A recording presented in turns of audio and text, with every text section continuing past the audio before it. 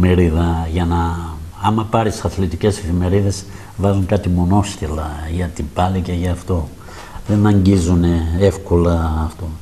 Εγώ βρήκα τον τρόπο, το σφιγμό των παλαιστών, με αποδέχονται κατά 90%, μη σου πω 100% όλοι, αναγνωρίζουν, δεν ήρθε κανένας να με πει τι είναι αυτό που έκανες παλαιστής και αυτό, με αδίκησες και έκανες.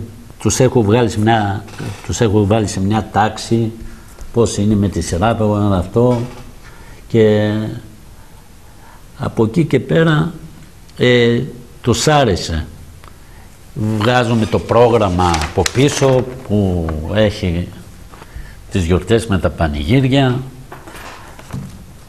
Ανακατηγορίες βάζουμε τα αυτά και κάθε φορά βάζουμε και από μια ιστορία από έναν παλιό Παλαιστή, από αυτούς τους 30 που έγραψα, το ιστορικό τους. Αυτά γύρω στα 3-4 χρόνια από έρευνα, από ακούσματα, από τέτοια. Τα έδινα και φυσικά πρώτα να τα δουν, να τα εγκρίνουν, οπότε δεν υπάρχει πρόβλημα. Μάλιστα. Ε, πότε να περιμένουμε ότι θα εκδοθεί το βιβλίο σας; Το βιβλίο έτσι που πάει το λιγότερο ένα εξάμεινο θέλει. Έχω τώρα άλλα, για άλλα τρία άτομα να, που σταμάτησαν την πάλι να, για το Λαλιώτη, τον Κίδρο και το Θεοδωρίδη, το Δημήτριο. Αυτός δεν σταμάτησε, αλλά είναι στο τέλος της καριέρας του να γράψω και θα το εκδώσουμε.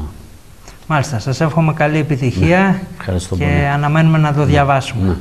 Σε αυτό το σημείο θέλω να σας ευχαριστήσω που παρευρεθήκατε στην απόψινή μας εκπομπή και ελπίζω να τα ξαναπούμε σε κάποια άλλη ναι, εκπομπή. Ναι. Και εγώ ευχαριστώ πολύ που μου κάνουν την τιμή να με καλέσετε να πω την άποψη για το άθλημα που αγαπώ. Σας ευχαριστούμε και πάλι. Γεια σας. Φίλοι και φίλες των μαχητικών αθλημάτων, άλλη μια εκπομπή έφτασε στο τέλος της. Ευχαριστούμε που μείνατε κοντά μας και μας παρακολουθήσατε. Ανανεώνουμε το ραντεβού μας για την ερχόμενη εβδομάδα. Έως τότε, γεια σας.